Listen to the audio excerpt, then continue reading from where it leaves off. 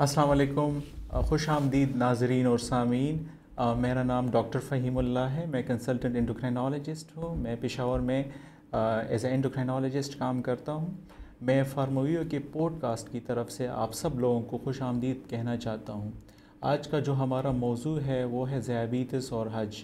आप लोगों को पता है कि पाकिस्तान से इस साल तकरीबन दो लाख पचास हज़ार लोग हज अदा करने के लिए सऊदी अरेबिया जा रहे हैं।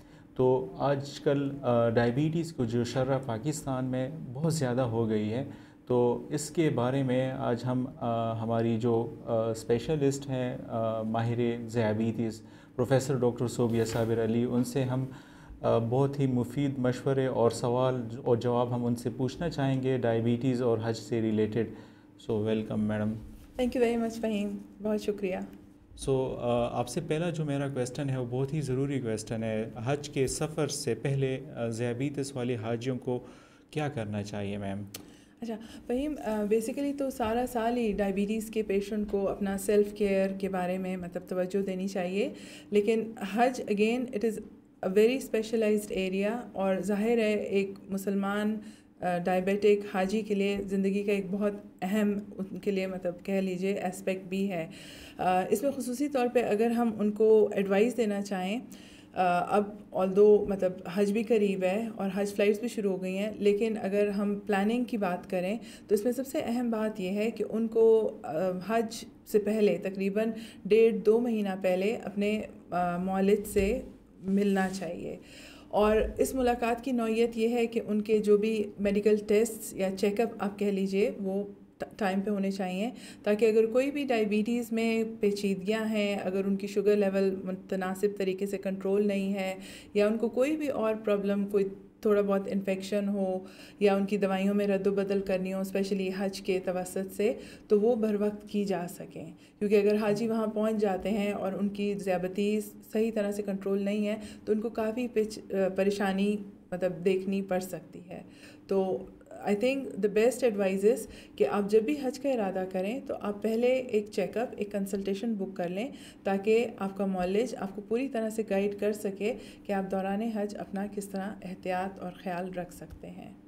अच्छा मैम एक दूसरा बहुत ही इम्पोर्टेंट क्वेश्चन है कुछ अक्सर मरीज़ होते हैं मतलब हाजी होते हैं वो अपने साथ कौन सी ऐसी चीज़ें साथ ले जा सकते हैं हज के लिए अच्छा। इसके अलावा अपनी दवाइयों की डोज को किस तरह एडजस्ट हम्म, हम्म। कर सकते हैं और बहुत ही जो ज़रूरी क्वेश्चन है इंसुलिन से रिलेटेड वो इंसुलिन की हिफाजत कैसे कर सकते हैं? अच्छा आपके सवाल में तीन बातें हैं, ठीक? सबसे पहली बात जो आप कह रहे हैं, बहुत अहम है कि हाजियों को, जिनको डायबिटीज़ या ज़्याबतीज़ है, अपने साथ क्या ले जाएँ?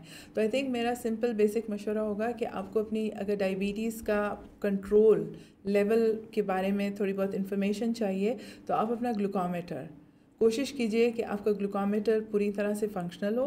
बैटरी सेल एक नहीं दो आप रख लीजिए स्पेयर ताकि दौरान हज आप अपना शुगर बाकायदगी से चेक कर सकें। इस आ, मतलब आ, सिलसिले में मैं आपको थोड़ी सी वजाहत करना चाहूँगी कि कुछ लोगों के जहन में होता है कि अगर उन्होंने अहराम पहना होगा तो शायद इस दौरान वो अपनी शुगर चेक ना करें। उनको अलाउड नहीं होगा। लेकिन थोड़ी सी मैं वजाहत कर दूँ कि नहीं ड्यूरिंग द टाइम ऑफ़ हज जब हाजियों ने अहराम भी पहना होगा वो अपना आराम से ब्लड शुगर टेस्ट कर सकते हैं।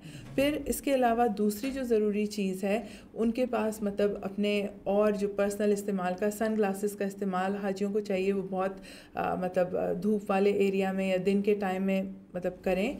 आ, और अगेन जब वो सन ग्लासेस इस्तेमाल करेंगे तो बेहतर ये होगा कि वो अपनी नज़र का भी फ्रेश टेस्ट कर लें। अगर उनकी मतलब बिनाई में थोड़ा बहुत फ़र्क आया है तो वो अपनी सन ग्लासेस अकॉर्डिंगली सही बना सकते हैं, ताकि उनको जो भी अपने मतलब कलाम पढ़ना हो, वो बसानी पढ़ सकें।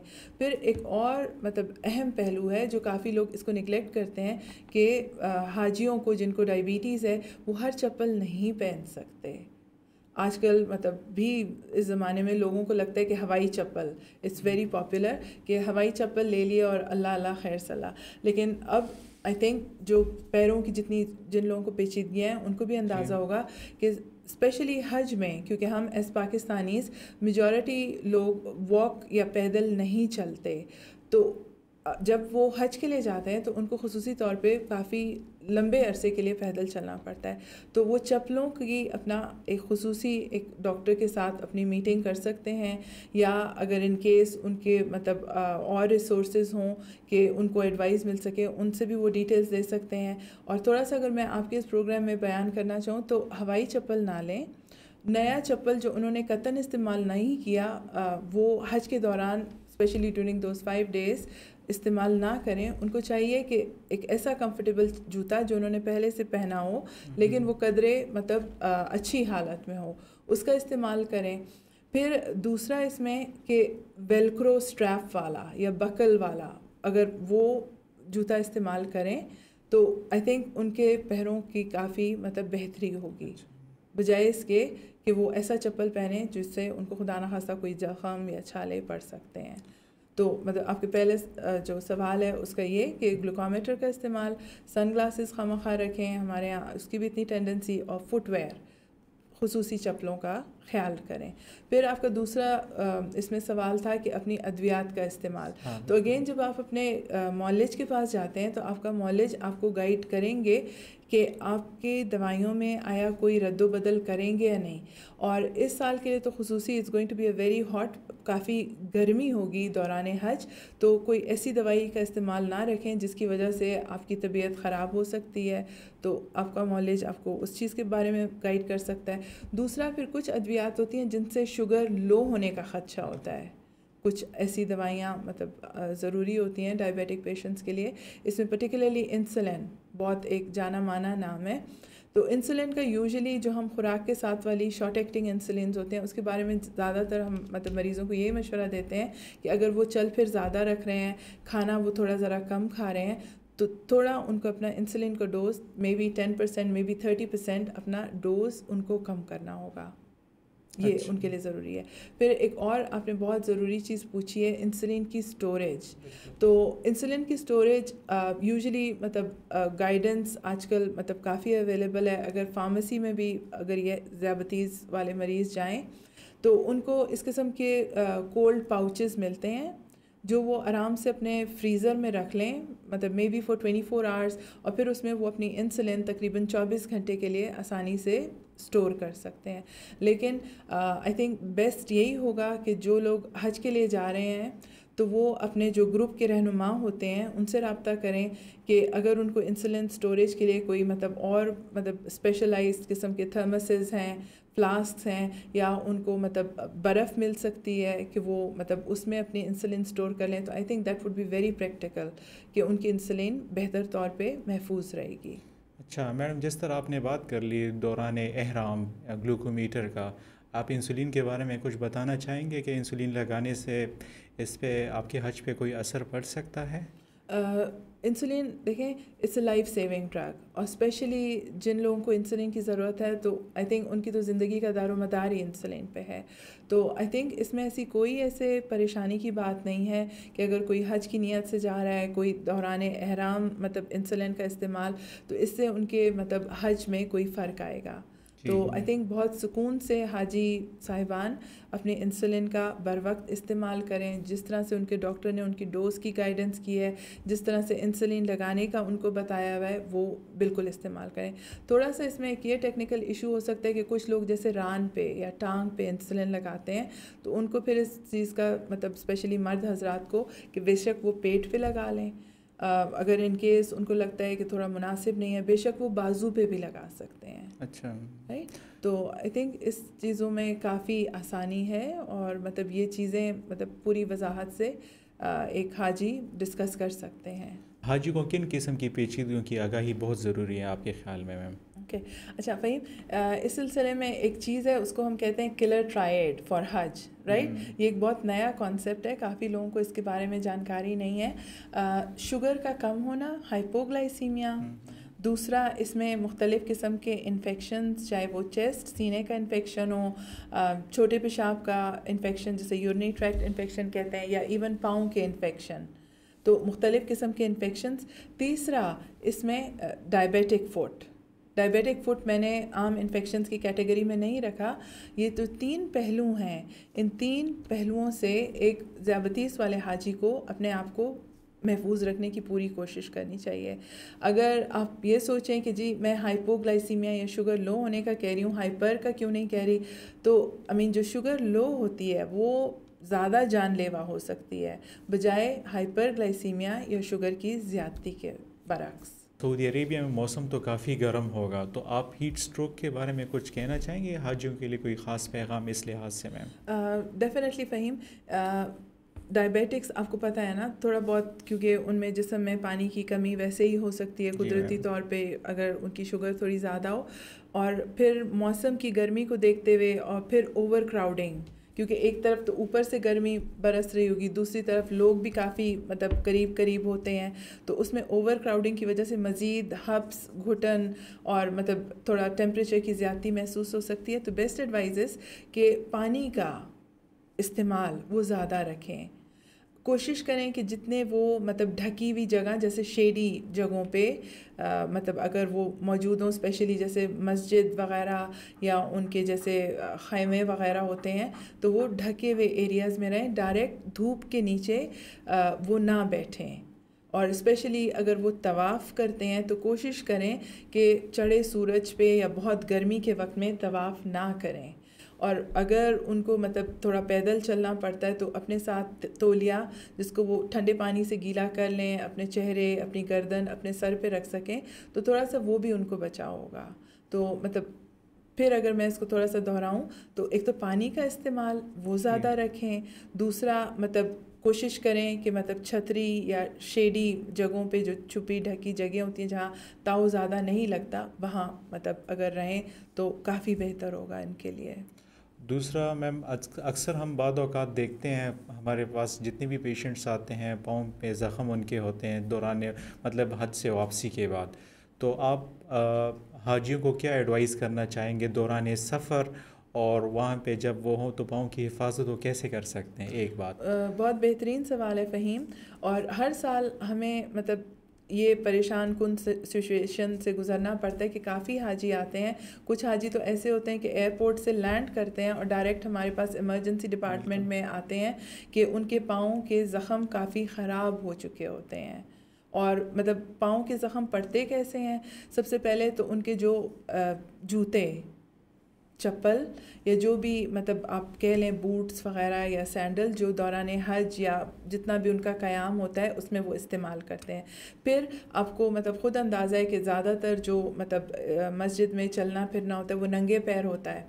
तो नंगे पैर भी पर्टिकुलरली उस टाइम जिस टाइम फ़र्श तपे होते हैं, गर्म फ़र्श पे नंगे पैर चलेंगे तो फिर उसमें भी छाले पड़ने का काफ़ी ख़दशा होता है। फिर एक और मतलब सिचुएशन होती है जिसमें पाँव की रगें बिल्कुल सुन होती हैं, जिसे हम मेडिकली न्यूरोपैथी कहते हैं। तो जिन लोगों को मतलब अंदाज़ा है कि हाँ उनके पाँव सुन हैं। उनको पता नहीं लगता आ, कि थोड़ा पाँव में ज़ख़म आता है या पाँव दुखता है या पाँव में उनके ये भी हिस्स नहीं है कि गर्म फ़र्श है और उनको महसूस नहीं हो रहा कि फ़र्श गर्म है। तो उनको इस चीज़ में बहुत एहतियात करनी चाहिए। ठीक है।